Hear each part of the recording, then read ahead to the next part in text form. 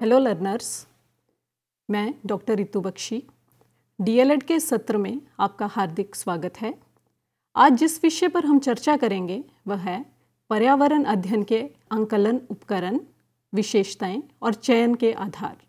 प्रिय छात्र छात्राओं पर्यावरण अध्ययन के आकलन उपकरण की जब हम बात करेंगे तो ये आकलन उपकरण बाकी अध्ययनों से अलग किस तरह से हैं, इसके बारे में हम विस्तार से पढ़ेंगे।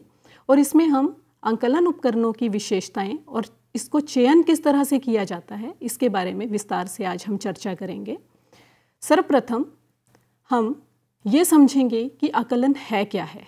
तो प्रिय बच्चों, सबसे पहले ये जानना बहुत ज़रूरी है कि आकलन क्या नहीं है। आकलन तुलना करने के लिए नहीं है और ना ही एक दूसरे के खिलाफ या कुछ निश्चित मानदंडों के खिलाफ बच्चों को रैंक करने के लिए है।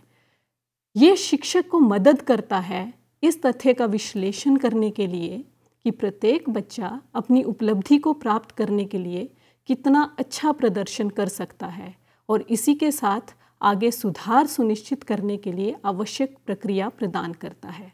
तो प्रिय छात्र छात्राओं कहने का तात्पर्य ये है कि सारा का सारा हमें जो ध्यान देना है, वो इस बात पे देना है कि बच्चा अपनी उपलब्धि और अच्छा प्रदर्शन और आगे सुधार सुनिश्चित करना, ये आकलन के बहुत ही विशेष बिंदु हैं जिन पे हमें ध्यान देना है।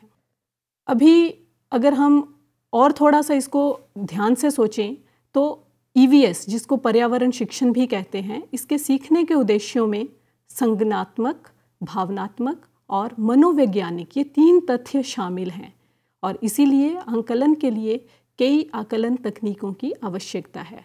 तो आइए आज हम यही सब तकनीकों को विस्तार से जानें और देखें कि ई e में आंकलन के लिए प्रभावी ढंग से क्या क्या तरीके जो हैं वो अपनाए जा सकते हैं और इस्तेमाल किए जा सकते हैं। सबसे पहले हम बात करेंगे कि आंकलन की परिभाषा। तो परिभाषा से पहले हमें ये जानना बहुत ज़रूरी है कि उद्देश्य क्या है। उद्देश्य है बच्चों की अभिव्यक्ति, क्षमता और अनुभूति आदि का मापन करना। क्षमता जो कि बच्चों के अंदर पहले से ही छिपी होती है।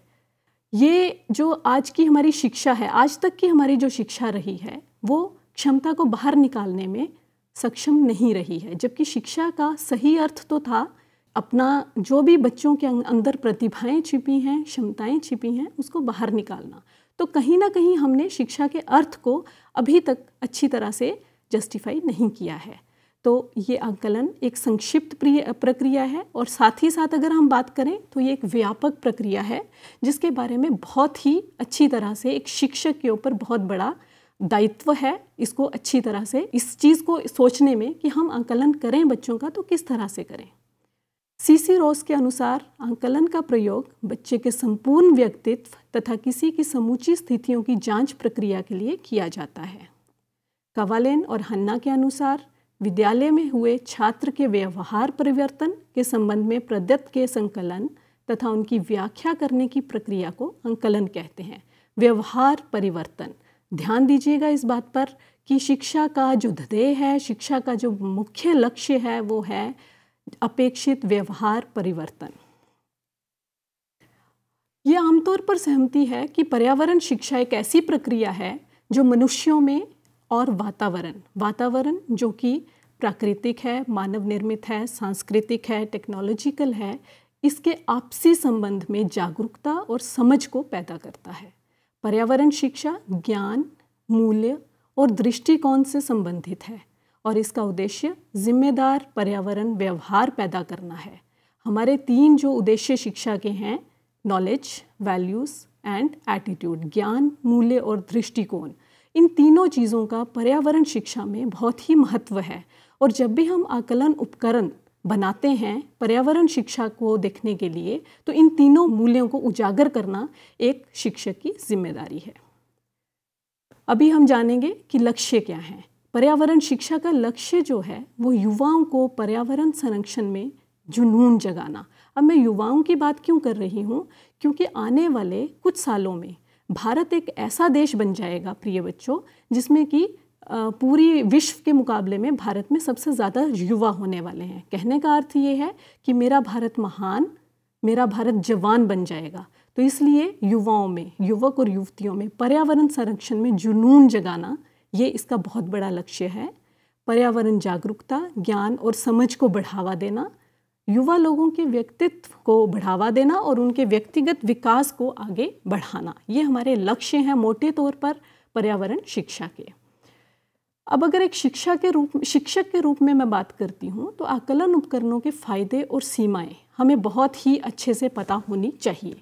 चूँकि ई e पर्यावरण शिक्षण जो है वो जीवन कौशल से संबंधित है, इसलिए शिक्षकों को लगातार समय की मांग के मुताबिक अंकलन उपकरणों को विकसित करने का निरंतर प्रयास करते रहना चाहिए। अब कुछ प्रासंगिक अंकलन उपकरणों की अगर मैं बात करती हूँ तो वो हैं अवलोकन ऑब्जर्वेशन अनुसूची चेकलिस्ट रेटिंग पैमाने ऑडियो विजुअल रिकॉर्डिंग उपकरण। तो प्रिय बच्चों, ये जो अंकलन के उपकरण हैं, ये पर्यावरण शिक्षा में जब हम इनको प्रयोग करते हैं तो हम इनका अंकलन बच्चों का बहुत अच्छे से कर पाते हैं। अंकलन करने के दो मुख्य उद्देश्य हैं, जिसमें से एक है योगात्मक। ये योगात्मक आंकलन जो होता है, जिसको हम सम्मेटिव असेसमेंट भी कहते हैं, पीछे मुड़कर देखता है और जो पहले से सीखा गया है, उसका निर्णय करता है। ये सामान्यता परीक्षाओं के स्वरूप में आयोजित किया जाता है, जहाँ विद्यार्थियों को परीक्षा में प्रश्नों के प्रति उनकी उपलब्धियों को बताए गए श्रेणीकृत क्षेत्र दिए जाते हैं और उनके परिमाणों की रिपोर्टिंग की जाती है। तो जो अंत में परीक्षा ली जाती है, योगात्मक आकलन वो होता है, जो कि हम पूरे साल में बच्चों ने क्या किया है, उसको जब हम देखते हैं, उसका आकलन करते हैं, वो योगात्मक आकलन कहलाता है। दूसरा उद्देश्य जो है, वो है निर्माणात्मक, जो कि पूरा साल भर, पूरे सत्र भर बच्चों का चलता रहता है और जिसका स्वरूप जो है अनौपचारिक और नैदानिक होता है। नैदानिक निदान देना, बच्चों को रेमिडियल जो है कुछ चीज़ें ऐसी प्रदान करना कि उनकी शिक्षा में जो है वो निदान किया जा सके। शिक्षक उन्हें शिक्षण की प्रक्रिया के अंग के रूप में उपयोग करते हैं। उदाहरण के लिए, यह पता लगाने के लिए प्रश्न पूछने का इस्तेमाल किया जाता है कि क्या विद्यार्थी ने किसी चीज़ को समझा है या नहीं। इस आंकलन के परिणामों को फिर अगले शिक्षण अनुभव को बदलने के लिए उपयोग किया जाता है। तो मोटे तौर पर हम इसे निगरानी और फीडबैक, इस अंकलन का बहुत ही ज़रूरी हिस्सा समझ सकते हैं। कुछ आवश्यक पहलुओं पर भी ज़रूर बात करना चाहूँगी, प्रिय छात्रों। जो आवश्यक पहलू हैं, जब भी हम आंकलन उपकरण के बारे में बात करते हैं तो तीन आवश्यक पहलू इसके आते हैं। पढ़ाने से पहले, पढ़ाते समय और पढ़ाने के बाद। तो जब पढ़ाने से पहले की बात करें तो एक शिक्षक के ऊपर बहुत बड़ा दायित्व है कि वो पढ़ाने से पहले अंकलन क्या करना है, किस तरह से उसको करना है और बच्चे में क्या प्रतिभाएँ हैं, उसको जानने की कोशिश करें। पढ़ाने से पहले अंकलन से आपको यह जानने में मदद मिलती है कि विद्यार्थी क्या जानते हैं और पढ़ाने से पहले क्या कर सकते हैं। ये आधार रेखा निर्धारित करता है और आपको अपनी शिक्षक योजना तैयार करने में बहुत ही सहायता करता है। पढ़ाते समय। दूसरा जो इसका आवश्यक पहलू है, वो है पढ़ाते समय। प्रिय छात्रों, कक्षा में पढ़ाते समय अंकलन करने में ये देखना शामिल है कि क्या विद्यार्थी सीख रहे हैं और उनमें सुधार हो रहा है। ये ज़रूर एक शिक्षक के रूप में आपको इस चीज़ का ज़रूर ध्यान रखना है कि क्या उनमें सुधार हो रहा है इससे आपको अपनी शिक्षण पद्धति, संसाधनों और गतिविधियों का समायोजन करने में मदद मिलेगी। यह आपको यह समझने में मदद करेगा कि विद्यार्थी वांछित उद्देश्य की दिशा में किस प्रकार प्रगति कर रहा है और आपका शिक्षण कितना सफल है। प्रगति और आपका शिक्षण कितना सफल है, ये देखने के लिए पढ़ाते समय आपको निरंतर ये सोचना है कि विद्यार्थी में सुधार हो रहा है या नहीं। इसके तीसरे पहलू पर बात करें जो कि शिक्षण का बहुत ही बड़ा आवश्यक पहलू है, वो है पढ़ाने के बाद। शिक्षण के बाद किया जाने वाला आंकलन पुष्टि करता है कि विद्यार्थियों ने क्या सीखा है और आपको दर्शाता है कि किसने सीखा है और किसे अभी मदद की ज़रूरत है। बहुत ज़रूरी है ये देखना कि कितने बच्चों ने सीख लिया है, क्योंकि हमारी जो कक्षा है, वो अलग अलग तरह के बच्चों से भरी रहती है। तो किसने सीखा है, किसको भी मदद की ज़रूरत है। इससे आप अपने शिक्षण के लक्ष्य को प्रभावी आंकलन कर पाएँगे। अब हम आंकलन के उद्देश्यों पर बात करेंगे। आंकलन के उद्देश्य जो हैं, आंकलन उपकरण निर्धारण करने से पहले उसके हर एक उद्देश्य को बहुत ही ध्यान से सोचना चाहिए, क्योंकि पर्यावरण शिक्षा में उद्देश्य बाकी शिक्षणों से थोड़े से भिन्न रहेंगे, क्योंकि पर्यावरण शिक्षा जो है, ये एक तरह से दृष्टिकोण को बदलने का एक, बदलने की एक शिक्षा है। तो इसके उद्देश्यों में बच्चों में अपेक्षित व्यवहार एवं आचरण परिवर्तन की जाँच करना। यह जानना कि बच्चों ने कुशलताओं, योग्यताओं आदि को कितना ग्रहण किया है और बालकों और बालिकाओं की सभी कठिनाइयों का निर्धारण करना तथा उनके दोषों को जानना।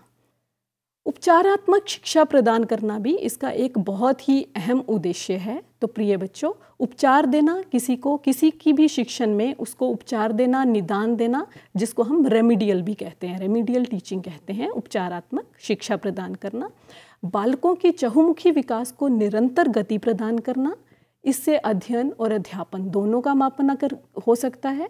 आंकलन द्वारा प्रयोजन शिक्षण विधियों की उपयोगिता एवं विद्यालय की समस्त क्रियाओं का अंकन करना है। अब प्रश्न ये आता है कि आंकलन उपकरणों की हमें आवश्यकता पड़ी क्यों? यदि हमारी एक शिक्षक शिक्षक पढ़ाने से पहले भी, पढ़ाने के बाद भी और पढ़ाते समय भी सब कुछ देख रहा है तो हमें आकलन उपकरणों की आवश्यकता क्यों पड़ी? तो प्रिय छात्र छात्राओं प्रभावी और सूचनात्मक आंकलन में शिक्षक कई तरह की आंकलन रणनीतियों का इस्तेमाल करते हैं, जो विद्यार्थियों को सीखने के कई अवसर देकर इस निष्कर्ष पर पहुँचते हैं। ध्यान दीजिएगा इस बात पर, कई अवसर देकर, क्योंकि जो आज की शिक्षा है, आज का आंकलन है, वो एक अवसर पर निर्धारित नहीं किया जा सकता। कई अवसर देने हैं, क्योंकि ये एक सतत प्रक्रिया है। तो कई अवसर देकर इस निष्कर्ष पर पहुँचना है कि वे क्या जानते हैं, वे क्या समझते हैं और वे क्या कर सकते हैं? वो कर सकते हैं। बहुत सारी ऐसी प्रतिभाएँ इन बच्चों में होती हैं जो वो कर सकते हैं, परंतु हम उनको अवसर नहीं देकर जो वो कर सकते हैं, उससे उनको वंचित कर देते हैं। आप छात्रों को सीखने के स्तर के बारे में जानकारी दर्ज करके भी आंकलन कर सकते हैं कि वो क्या क्या सीख सकते हैं, उसकी जानकारी दर्ज करना, जिसको हम इंफॉर्मेशन फॉर्म के रूप में भी जानते हैं। जब आप किसी भी उपकरण की मदद से छात्रों की सीख की गहराई के बारे में जानकारी रिकॉर्ड करते हैं तो ये सीखने का आकलन होता है। इस दर्ज जानकारी के आधार पर जब आप सीखने के लिए आगे की गतिविधियों की योजना बनाते हैं तो इसे सीखने के लिए या जिसको हम उपचार भी कहते हैं रेमिडिएशन कहते हैं और उसके लिए हम जब नई रूपरेखा बनाते हैं, नई योजना बनाते हैं तो वो हमारा एक उपकरण की आवश्यकता है। उपकरण का बहुत ही आवश्यक पहलू है जिस पे हमें ध्यान देने की ज़रूरत है। अब हम उपकरण जब भी बनाते हैं, इसके कुछ पद होते हैं स्टेप्स होते हैं तो आकलन के उद्देश्यों का चयन व निर्धारण करना। ये इसका पहला पद है कि आंकलन के उद्देश्यों का चयन करना और उसका निर्धारण करना। उद्देश्यों का निर्धारण, विश्लेषण, जो कि व्यवहारगत परिवर्तन के संदर्भ में जाना जाता है। आंकलन प्रविधियों का चयन करना, आंकलन प्रविधियों का प्रयोग और परिणाम निकालना। परिणामों की व्याख्या व सामान्यकरण करना। ये मैं पदों की बात कर रही हूँ कि इस तरह से हम जब भी कोई अंकलन का तरीका सोचते हैं तो ये उसके पहले स्टेप्स होने चाहिए, पद होने चाहिए। अंकलन एक सतत प्रक्रिया है। हम अगर इसकी प्रकृति की आज चर्चा करें तो अंकलन के जो स्टेप्स की हमने बात की, वो क्यों करना ज़रूरी है? क्योंकि ये एक सतत प्रक्रिया है और शिक्षण प्रक्रिया का अभिन्न अंग है। इसका सीधा संबंध शिक्षा के उद्देश्य से होता है ये बालकों के परिणामों की गुणवत्ता, मूल्य और प्रभाव के आधार पर उनके भावी कार्यक्रमों का निर्धारण करता है। तो प्रिय छात्रों, ये एक सतत प्रक्रिया है और पर्यावरण शिक्षा में सतत प्रक्रिया से ही हम एक बहुत ही प्रभावशाली आंकलन कर सकते हैं। आंकलन का प्रमुख प्रयोजन व्यवहारगत परिवर्तन की दिशा प्रकृति एवं स्तर के संबंध में निर्णय करना होता है और ये शिक्षा के उद्देश्यों की प्राप्ति की सीमा का निर्धारण करने वाली एक प्रक्रिया है। अब सवाल ये उठता है कि पर्यावरण शिक्षा की जब हम बात कर रहे हैं तो अंकलन उपकरणों का चयन किस तरह से किया जाए? क्या चीज़ें ध्यान में रखी जाएँ कि हमने ये चयन, ये उपकरण हमने इस बच्चे पर अभी हमने प्रयोग करना है? तो कोई भी उपकरण प्रयोग करने से पहले प्रिय छात्रों, ध्यान दें कि उपकलन जो है वो वैध्य होना चाहिए। वैध्यता, जिस उद्देश्य का आंकलन करना हो, उस उद्देश्य का आंकलन हो जाए तो समझिए वो उपकरण वैध्य है। विश्वसनीयता। विश्वसनीयता का अर्थ है विश्वास का पात्र। अर्थात, जब आपको अंकों का बदलाव ना हो और दोबारा चेक करने पर भी अंक समान रहें तो जो आपने उपकरण प्रयोग किया था, वो विश्वसनीय है। वस्तुनिष्ठ प्रश्न विश्वसनीय होते हैं और निबंध वाले जो प्रश्न होते हैं, वो कहीं ना कहीं थोड़ा सा उनके ऊपर हम कह सकते हैं कि विश्वसनीय नहीं होते हैं। वस्तुनिष्ठता, जब भी हम आंकलन के उपकरण को चयन करते हैं तो वस्तुनिष्ठता का ध्यान रखना बहुत बहुत बहुत ज़रूरी हो जाता है, क्योंकि आंकलन पक्षपात रहित होना ही चाहिए। वस्तुनिष्ठता में प्रश्न का अर्थ स्पष्ट होता है और उसमें कोई भी भ्रांति नहीं होती है। इसका अगला जो ध्यान देने के लिए बहुत महत्वपूर्ण बिंदु है, वो है व्यापकता। आंकलन का क्षेत्र व्यापक होता है, अर्थात गहराई में आंकलन करते समय किसी भी विषय की गहराई से प्रश्न पूछना बहुत ही आवश्यक है एक शिक्षक के लिए। उपयोगिता। अच्छा आंकलन हमेशा जीवन के लिए उपयोगी होता है। प्रिय छात्रों, अगर हम ध्यान दें तो जो शिक्षा का मुख्य ध्येय है, वो है उपयोगिता। वो शिक्षा किसी काम की नहीं होती जिसमें उपयोगिता ना हो। तो कोई भी शिक्षा उपयोगी होना बहुत ज़रूरी होती है। इसी तरह से आंकलन उपकरण का चयन करते हुए ये ज़रूर ध्यान में रखें कि वह उपयोगी हो। विभेदीकरण, आंकलन में बच्चों के विभेद कर सकने की क्षमता होनी चाहिए, जिससे कि आंकलन की निष्पक्षता बनी रहे। विशेष उद्देश्य को स्पष्ट करना बहुत ज़रूरी है कि हम जब भी आंकलन करने के लिए किसी भी आंकलन उपकरण को उपयोग करें तो उसका विशिष्ट उद्देश्य हमेशा ध्यान में रखें। सबसे उपयुक्त आंकलन तकनीक चुनना। और क्योंकि हर बच्चा अलग है, हर बच्चा अलग काम कर रहा है, हर बच्चे में अलग तरह की जो है प्रतिभाएँ छुपी हैं। तो इसलिए सबसे ध्यान में रखने की चीज़ ये है, सबसे उपयुक्त आंकलन तकनीक चुनना बहुत ही ज़रूरी हो जाता है, क्योंकि बच्चे भिन्न भिन्न हैं। कोई भी कक्षा में एक बच्चा दूसरे के समान नहीं है तो आंकलन तकनीक भी समान कैसे हो सकती है? अब उपकरण विकसित करने के कुछ मूलभूत कदम हैं जिस पे हम चर्चा करेंगे।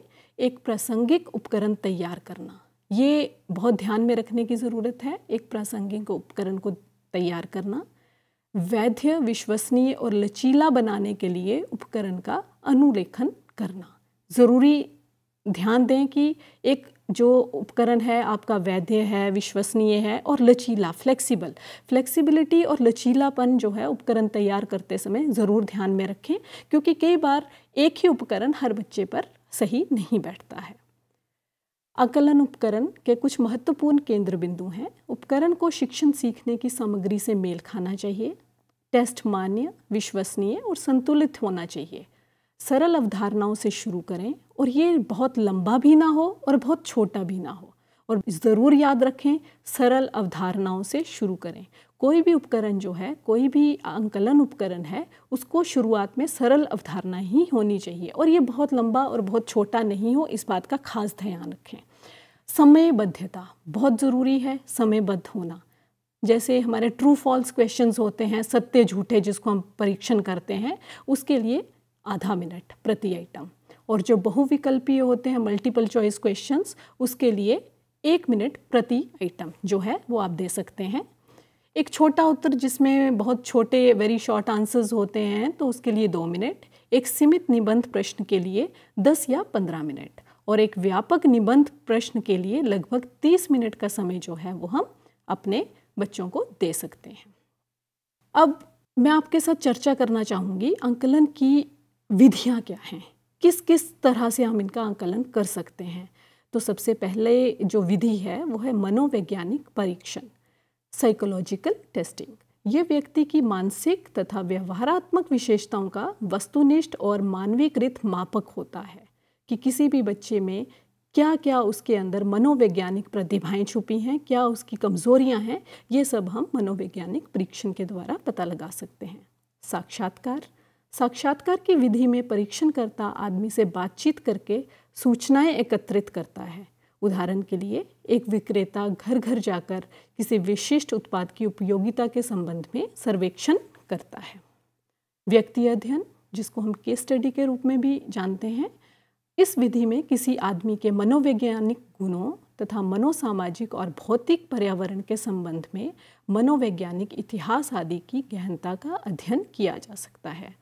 प्रेक्षण ऑब्जर्वेशन जिसको हम अवलोकन भी कहते हैं, इसमें व्यक्ति की स्वाभाविक दशा में घटित होने वाली ताक्षणिक व्यवहारगत घटनाओं तथा व्यवस्थित, संगठित तथा वस्तुनिष्ठ ढंग से अभिलेखों पर तैयार कर सकते हैं और ये जो अवलोकन की प्रक्रिया है, ये पर्यावरण शिक्षा में बहुत ही ज़रूरी हो जाती है, क्योंकि पर्यावरण शिक्षा जो है, पर्यावरण शिक्षा अवलोकन के द्वारा बहुत ही अच्छी तरह से उसका आकलन हम कर सकते हैं कि हमने, हमारा क्या उद्देश्य था, हमने क्या पाना था और हम कितना पा चुके हैं। बच्चों को और कितनी ज़रूरत है। आत्म प्रतिवेदन सेल्फ रिपोर्ट। ये बहुत ज़रूरी है क्योंकि जितना हम बच्चों को खुद से काम करने के लिए प्रेरित करेंगे, उतना ही अच्छा आकलन हम उसका कर पाएँगे। इस विधि में व्यक्ति स्वयं अपने विश्वासों, मतों आदि के बारे में तथ्यात्मक सूचनाएँ प्रदान करता है। और संचित अभिलेख पत्र क्यूमुलेटिव रिकॉर्ड जो होता है, जैसे बच्चों का शारीरिक, मानसिक, सामाजिक, नैतिक, मनोवैज्ञानिक अभिलेख तैयार करना। घटनावृत्त। स्कूल में घटित होने वाली घटनाएँ, दैनिक घटनाएँ, इन सब का विवरण, पर्यावरण शिक्षा में बहुत ही आवश्यक है।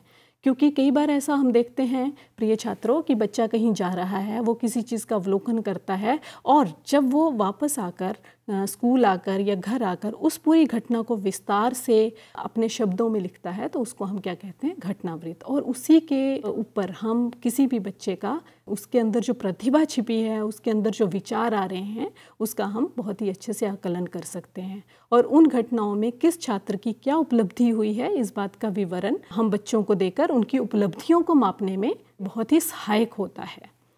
निर्धारण मापनी, रेटिंग स्केल, जिसमें कि हम बच्चों को ग्रेड देते हैं।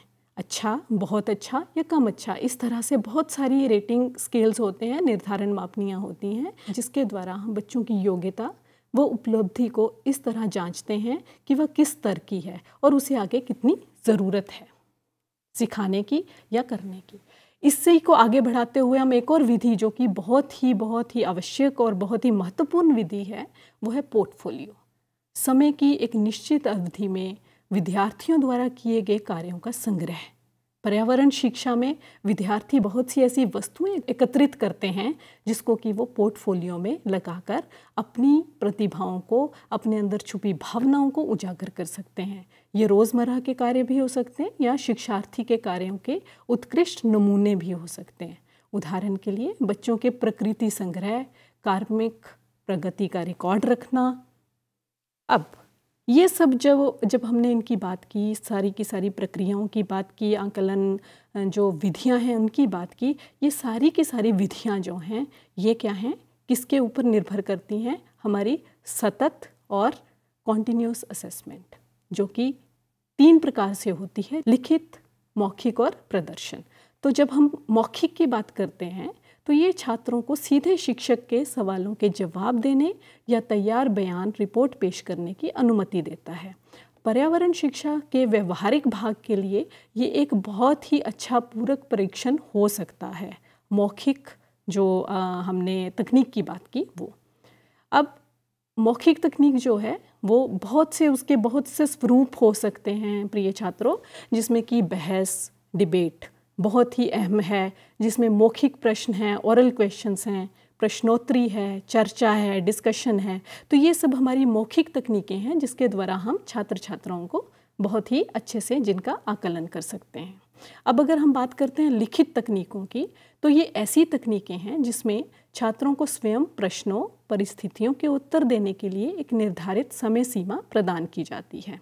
और ये जो लिखित तकनीक है, इसके बहुत तरह के तरीके हो सकते हैं, जैसे कि उद्देश्य प्रकार, निबंध हैं, लघु उत्तर हैं। तो ये बहुत अलग अलग तरह से डिपेंड करेगा कि आप किस तरह की पद्धति, किस तरह की जो तकनीक है, उसको यूज़ करते हैं। इसके आगे बहुत ही इंपॉर्टेंट जो है पर्यावरण शिक्षा में वो है परफॉर्मेंस टेस्ट जिसको हम प्रदर्शन जाँच भी कहते हैं। प्रदर्शन पर्यावरण शिक्षा का एक बहुत ही महत्वपूर्ण आकलन है, जिसके लिए विद्यार्थियों को वास्तव में कार्य या गतिविधि करने की आवश्यकता होती है। तो प्रिय छात्रों, आप देखेंगे कि प्रदर्शन करने के बहुत अलग अलग ढंग हो सकते हैं, जैसे असली व नकली परिस्थितियों पर प्रतिक्रिया देना, सामग्री या उपकरण में जोड़ तोड़ करना, चित्र बनाना, निर्देशों का पालन करना, सीमित समय में एक श्रृंखला को निष्पादित करना, बच्चों को एक प्रयोग करने में प्रवीणता प्रदान करना। तो ये जो प्रदर्शन जाँच है, ये बहुत ज़रूरी है और बहुत ही अभिन्न अंग है पर्यावरण शिक्षा का। अवलोकन मैंने पहले भी बात की। अवलोकन जो है पर्यावरण शिक्षा में बहुत अहम भूमिका निभाता है और अवलोकन के द्वारा हम बहुत ही अच्छा आकलन एक बच्चे का कर सकते हैं। उदाहरण के लिए उसकी आदतें और पर्यावरण के प्रति दृष्टिकोण। स्वतंत्र रूप के साथ ही सहयोगी रूप से काम करने की योग्यता, कक्षा में विविधता का उत्तर देना और विचारों और समझ का विकास। तो सारांश में मैं यही कहना चाहूँगी कि आज के इस सत्र में हमारी इस चर्चा से ये स्पष्ट हुआ है कि वर्तमान विद्यालय शिक्षण आकलन व्यवस्था में व्यापक सुधारों की ज़रूरत है। बहुत ज़रूरी है कि हम अपने आकलन तकनीकों का सुधार करें। आकलन की प्रक्रिया कक्षाओं में चल रही सीखने सिखाने की ही एक प्रक्रिया है और आकलन के वही तरीके अच्छे होते हैं जो बच्चों को सीखने की गति और सिखाने के तरीकों के अनुरूप होते हैं। तो इसी के साथ डियर लर्नर्स मैं आपका धन्यवाद दूँगी और हम इस सत्र को आज यहीं समाप्त करते हैं। धन्यवाद।